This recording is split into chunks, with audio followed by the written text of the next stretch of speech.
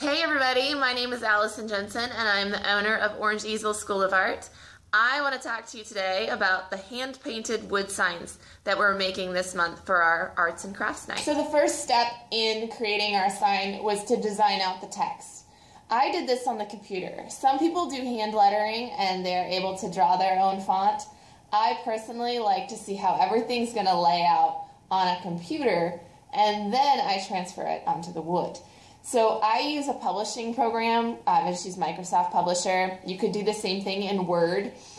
Um, my document, let me see if I can bring it up here and I'll show you what it looks like.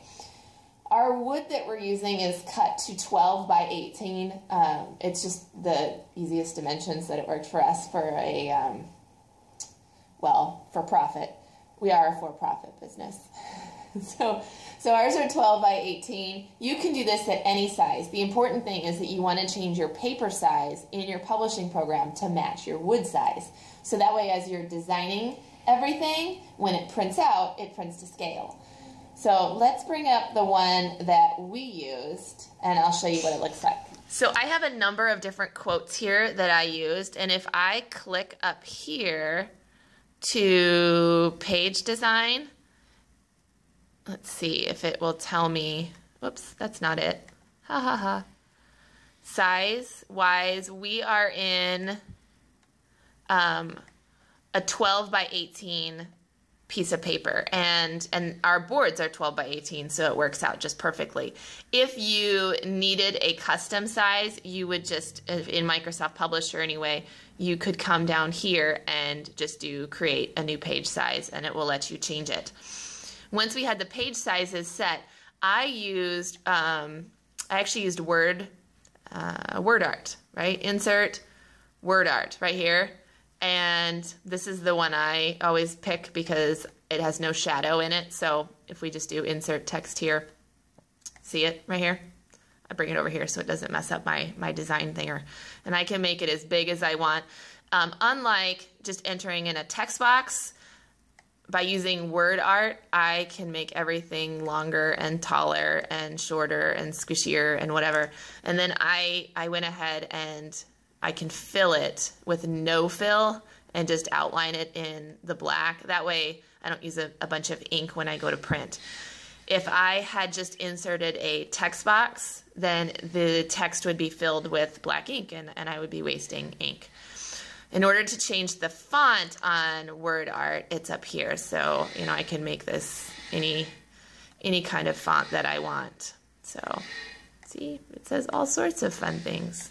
So it's from scripts to um, to blocks and serifs and sans serifs and all sorts of fun things. So once you start playing with all of this, see, and you can shrink it. So you can see here I used a, a script and then here I used a block. So the first step is to design it all, for us anyway, design it all on the computer. These are some of the templates that we have. So we have the Land of the Free and the Home of the Brave for our 4th of July one. We have You Are My Sunshine, which is the one that I'm going to be making. And then we have Love You to the Moon and Back. So, and you can see here I actually just inserted a shape because I wanted to be able to put the moon in our picture. All right, so these are ready to go and I went ahead and printed them and we're going to move on to the next step. All right, hey guys. All right, so the next step, we've got all of our pages here that have printed out. And look at this, like, it doesn't print out in one page, it prints out in four pages because I don't have a printer that prints, you know, 12 by 18. And so I've got four pages to put together.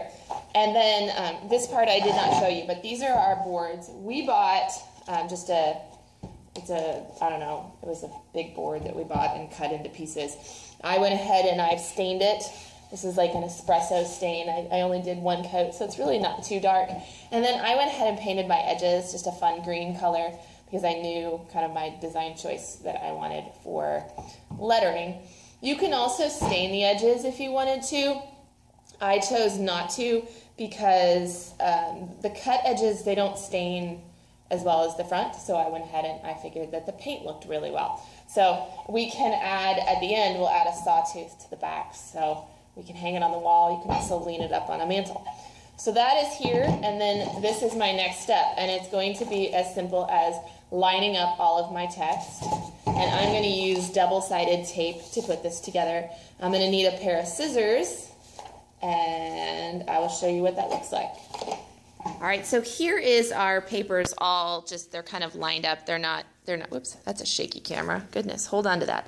They're not glued together or taped together yet. They're just lined up. Notice that there is a white, like our, um, our lines don't go all the way to the edge of the paper because our printer can't, it can't print off the edge. It can't print a bleed like that. So I'm going to trim the edge on one of these so that I can lay it over the top and line up all of those lines. And then we'll use a double-sided tape to go ahead and put this together and make it one piece.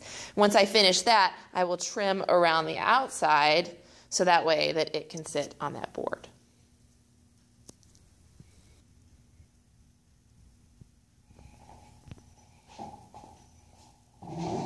All right, so the technique that we're going to use to transfer our text onto our board is um, similar to carbon paper. So that old school carbon copy paper, we're going to do that technique, only we're going to do it without actually using carbon paper.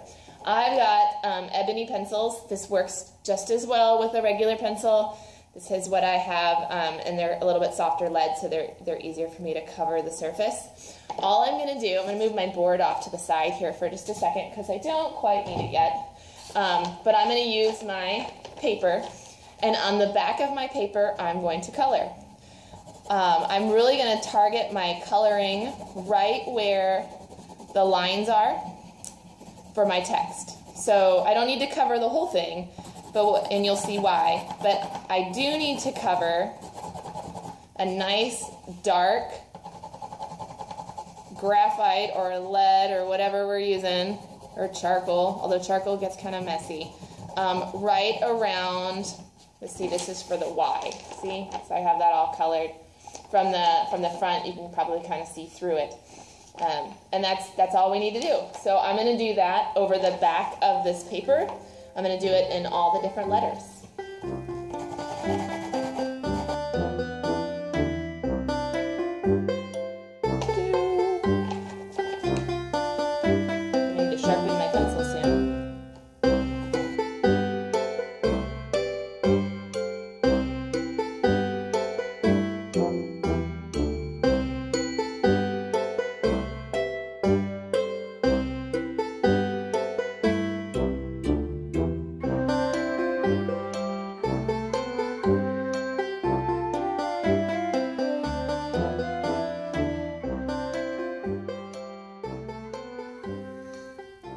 Right, as you can see, we have our template all taped down and we're ready to transfer it onto the board.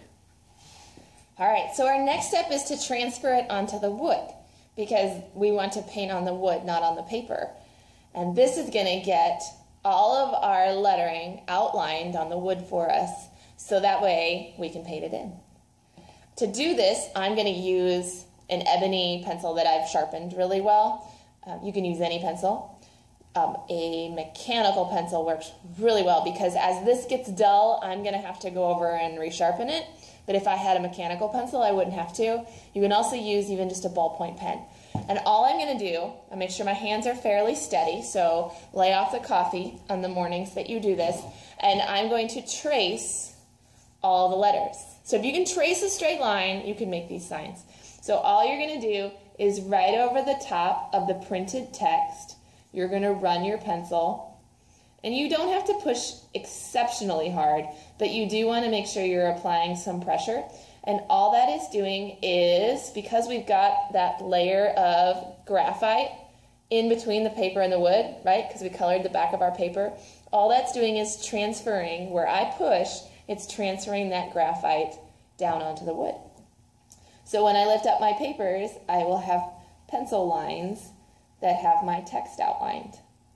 You want to take your time doing this because this is going to be the lines that you're going to paint. So if you don't do a good job of tracing, then your painting, um, your painting will only be as good as your tracing is.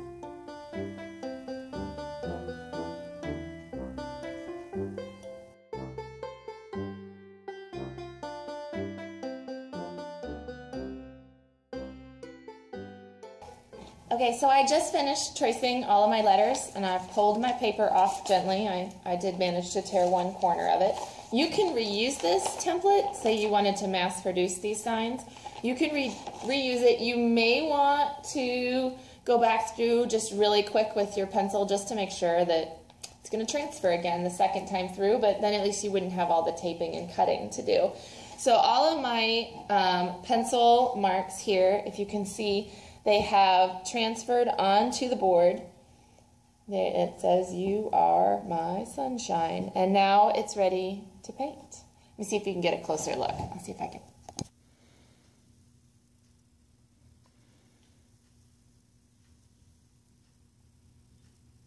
So we're ready to paint. I've got water, and I'm going to set everything to my right because I'm right-handed, and I don't want to drip over the board when I reach over to fill my brush, right? I don't want to accidentally drip because it's not going to come off of this. So I'm using two brushes. This is a flat brush, and I will use it to fill in some of the black letters. It gets a nice crisp edge when I go down. And then this one here, this is um, a little bit more like um, a liner brush. It's not quite a liner brush, but it's got a tip to it, and that will help with some of my script letters as well as some of the smaller areas to fill in. So I have two brushes here. I Always want to have a jar of water to wash. This is my paint palette and then a paper towel to wipe because I don't want my paint too runny. I am using just craft acrylic paint. So um, a couple different colors. This is a light orange I'm going to use for the word sunshine. The coral I'm going to use for the word you. The, um, the antique white or the vanilla is going to be are my. And then the gold is just an accent color. It is, it's actually bright gold. Um, there's a king's gold too that is really pretty, so both of those would work.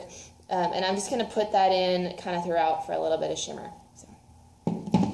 Acrylic paint dries really fast, so I'm only going to put out the color that I'm working with. Otherwise, by the time I get down the board, they'll all be dry, and that's a waste of paint. So, again, um, in case you didn't know, acrylic paint is not washable, so you don't want to get it on you. And you don't need very much paint at all to paint these. So I'm going to get started. So I'm being really careful on my lines. There's really not much margin for error here, so um, I want to make sure you do the best job you can staying inside your lines. This is a paint inside the box type of activity. Those of you Jackson Pollock people, you, you may find this kind of annoying. The good thing about it is if you mess up, we're going to do some distressing on this sign, so hopefully, hopefully it doesn't show up. you could just make that an extra distressed part if you have a line that's kind of wiggly. Um, I make sure that my brush has a decent amount of paint on it, but not too much. So that way I just make one mark nice and smooth. Um, let me see if I can pull this closer so you can get a, a good sense of how I'm painting.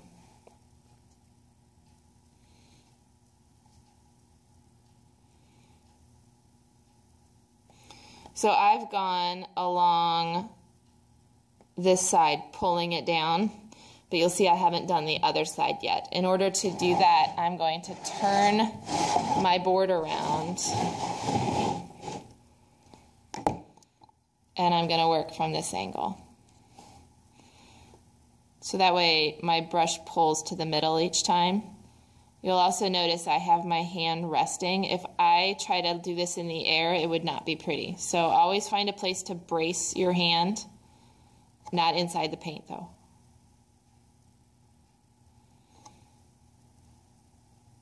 Anyone who's good at painting your nails, this will make sense to you because it's very similar. So just a stroke. The brush makes a big difference. It makes it very easy to get a nice, straight, crisp line because you just line it up against that pencil mark and pull. And then this the serif is about the same. If for some reason it wasn't, I would use my, my smaller brush to fill it in, which you'll see when I get to when I get to the script.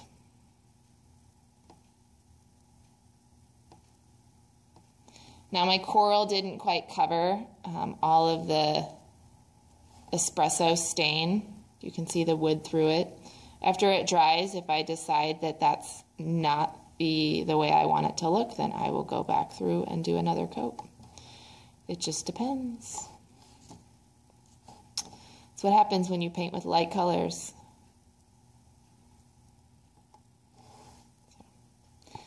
And the Y is done. One letter. Moving on to the next. All right, so our first coat of coral is done. Check it out. See? Look, so the word you took me about seven minutes to paint. It's obviously going to need a second coat so that we can get that nice bright color um, and not see the brushstrokes quite so much. I want to talk to people who maybe are freaked out by painting. If this freaks you out, or this, go get some of those paint markers and, and use a paint pen instead of a brush. And, and you'll have a little bit more control and it'll be a more familiar tool to you because, I mean, you know how to use a marker. You're good with that. All right, all right, we're going to keep moving on. I'm going to switch to my antique white for the script letters and I'm going to switch my brush. Okay, as you saw, I used my liner brush to go ahead and outline my script letters. So I like to do that first. And then, and this is just for script. For the black letters, I used my big, nice flat brush like this. But for my script letters, I outline with my liner brush, and then I'm gonna use a different flat brush. See that one? To kind of go in and fill in all of the areas here. I can fill it in with the same brush that I used to outline, but it would take me a lot longer. Um, and the nice thing about the outline is, is it just gives me um, gives me a little bit more room to mess up, I suppose.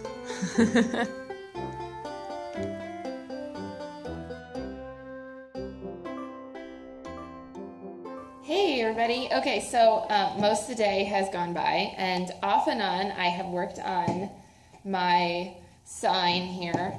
And so I think I've got it. It took two coats of the coral and the the light orange sherbet color. So I've got my my letters all painted in. You can see I added just a little bit of gold to the um, vanilla off antique white color. So um, I, I dig the way it looks, don't you? Isn't that cool? So I'm gonna let it dry really good and then I'm gonna take a sander to it and we're gonna distress it. But if you liked it just like this, you could leave it and it could be perfectly done. We're to take it one step further. All right, so now we're out here on the patio and I have my, my mouse sander here. My science paint is all dry and I'm going to sand this down just a little bit to distress it. Woo!